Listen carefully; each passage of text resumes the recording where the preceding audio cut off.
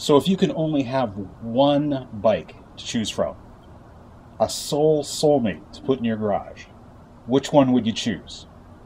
For my money, it's the Sport Tour. And today, I'm going to talk about particularly these Sport Tours. The sixth generation Honda VFR 800 Interceptor.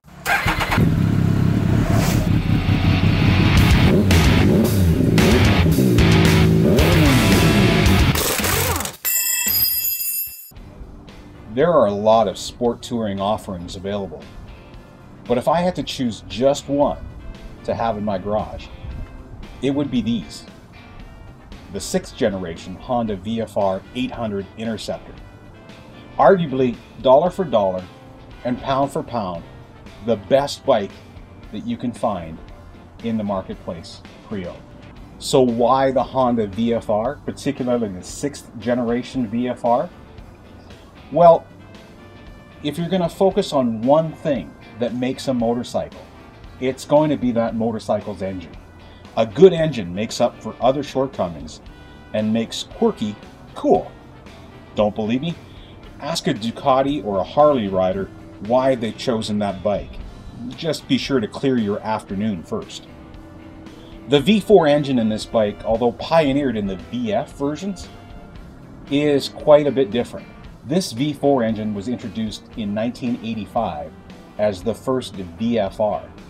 It was 750 cc's, and no expense was spared in making it one of the most technological leaps Honda's ever made in a motorcycle engine. It was classed as over engineered.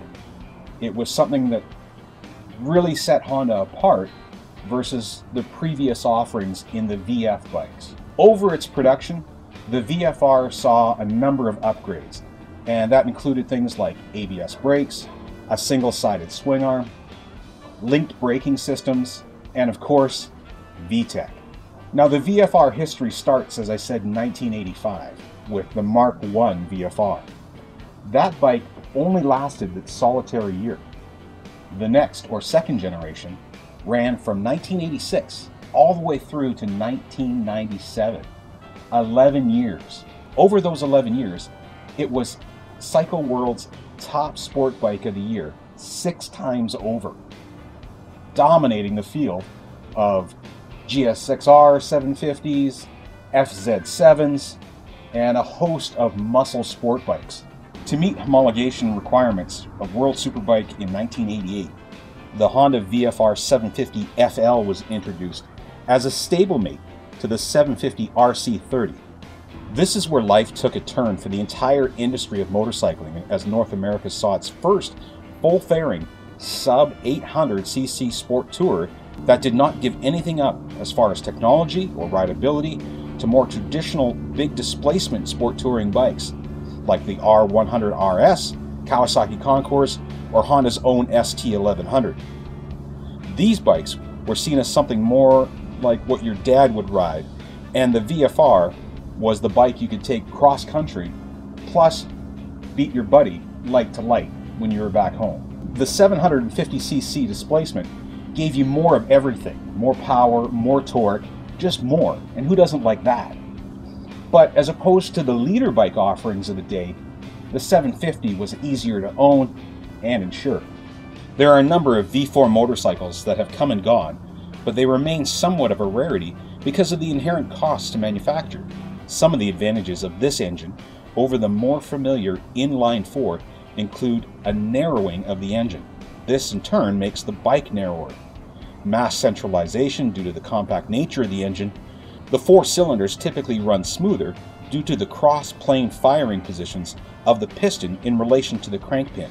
This eliminates the need for counterbalance shafts found on inline 4 engines. So the Honda VFR 800 fires at 0, 180, 270, and then again 180 degrees. So what does all that mean? What this means is the engine has a slight gap, a three-quarter rotation of the crankshaft between the firing of piston 3, which is the second piston to fire in order, and piston number 2, which is third in the firing order. This gives the VFR its distinctive sound.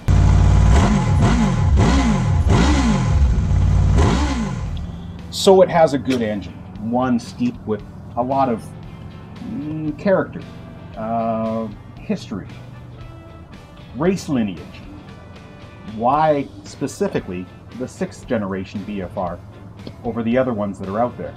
So I know the fifth generation VFR owners with their gear driven cams may take exception to this, but let's face it, there are two things that stand out with the Honda VFR, sixth generation, that makes it an exceptional bike. The first one is looks. Let's face it, the bike went from looking like this to looking like this in one year. The second one is VTEC. VTEC advanced the technology of the engine beyond what was expected of any manufacturer in its day. The introduction of VTEC allowed the bike to pass ever more stringent emission laws without sacrificing horsepower. So what is VTEC? It's an RPM driven valve engagement process that allows all four of the cylinders in this bike to go from working with two valves to four valves. So what VTEC does is allows you to get more air and fuel into the bike when you need to get more power out of it. And when you don't need that power, the engine goes back to running on two valves per cylinder. So the bike becomes more efficient and obviously produces way less emissions. So what's it like to ride with a VTEC engine? It's a little reminiscent of riding a dirt bike with a two-stroke in it. That power band surge that you get when you roll on enough throttle. Now, sixth generation bikes built from 2002 to 2005, like this white one right here, have the VTEC engage at 6,800 RPM and rolls on up through its 11,500 RPM redline. The later models, built from 2006 through 2009, like this guy right here, have VTEC engage at 6,400 RPM. They also hold the VTEC on as you decelerate down past 5,800 RPM. That makes riding this bike smoother than riding this bike. It's also why I prefer this bike over the later models. It's not that the, the earlier bike is any faster. It's not. Both bikes produce 107 horsepower. Both bikes handle the same. It's just that thrill, that kick in the pants that you get in riding an earlier version VTEC that makes me grin every time I twist the throttle. Now, not everybody agreed with that kick in the pants feel that you get from a sixth generation VFR. In fact, the new model, the eighth generation that you see on showroom floors right now, they've basically smoothed out that VTEC engagement even further, making it almost indistinguishable as to when the VTEC is engaged and when it's not. Makes for a more stable ride, just one that doesn't have the snap that the earlier sixth generation bike does. So up front, the Showa forks are fully adjustable compression, rebound dampening, all those things are easily accessible on the bike. Out back, you have a somewhat adjustable rear suspension system. Some models, the deluxe versions, are equipped with a, a, a wheel preload adjustment, something that makes life a little bit easier when you're changing speeds, adding a passenger, changing road conditions, but the rest of them don't. They have a manual preload and a manual adjustment on rebound dampening. At best, the suspension system is adequate. It's nowhere near the findings that you'll see today with electronic suspensions. The push of a button makes life a whole lot easier. So with these bikes, you're going to have to invest a little bit more time and effort in figuring out what works for you and how the bike is going to work for you. Once you do that, it's pretty easy to live with. Seat ergonomics are good.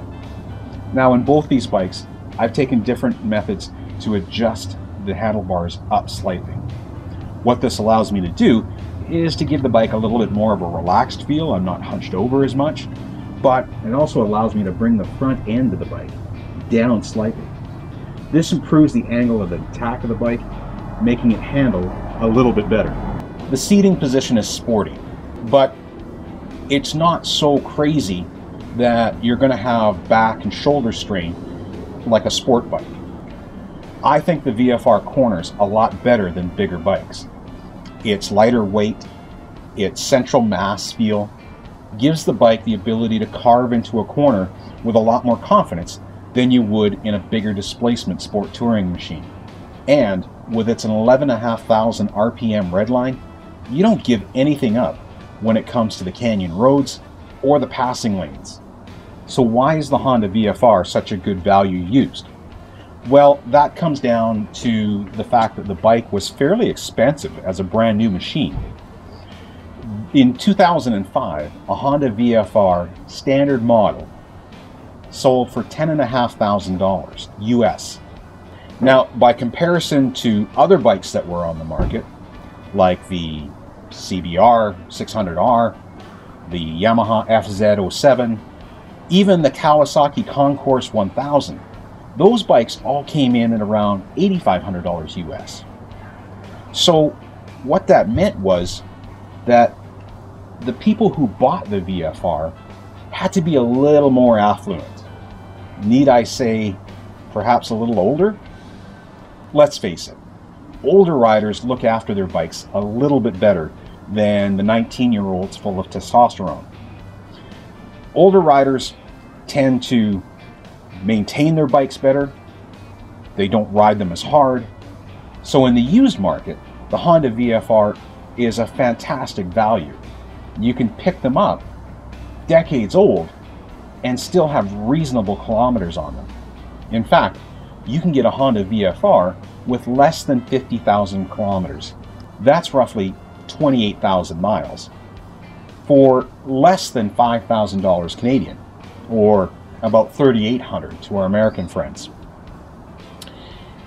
In turn, there's also a lot of bikes on the road that are still out there with over 100,000 kilometers on them, still commuting to work every day, still being weekend warriors. These bikes are even less money and a really good value when it comes to something you want to have some fun with and not have to worry about spending money on things like insurance and maintenance. Now, the $10,500 mark was still a far cry from the other offerings that were out there in the more expensive bikes the Honda ST1300, the FJR, the ludicrously priced BMW K1200.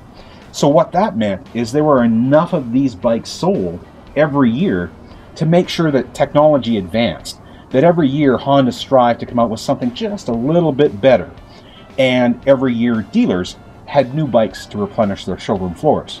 There are also a lot of aftermarket offerings available for these bikes. You can get everything from replacement bearings to sporty exhausts, power commander units, everything you need to make your Honda VFR truly yours. There's also a number of, of accessories available to make it more tour friendly. Hard luggage, taller windscreens, different saddles, all the things you need to make sure you can ride all day but still have fun in the twisties. The nice thing about this bike, when you pull into the hotel at the end of the day, after riding through some cold evening weather, you're not worried about dropping something that's a thousand pounds. For touring, fuel range is also very decent. 22 liters of fuel goes in this tank. That means you can comfortably cruise into the 300 kilometer range providing you don't use the VTEC that much. At the end of the day, if you only can buy one bike to put into your garage, that sole soulmate, and that bike's sport touring, the Honda VFR 6th generation 800 is an excellent choice. No one ever regrets owning a Honda VFR. In fact, anybody who parts with their bike typically circles around and tries to find another one somewhere down the road. The sixth generation Honda VFR 800, built between 2002 and 2009, dollar for dollar, pound for pound, probably the best bike that you can buy used.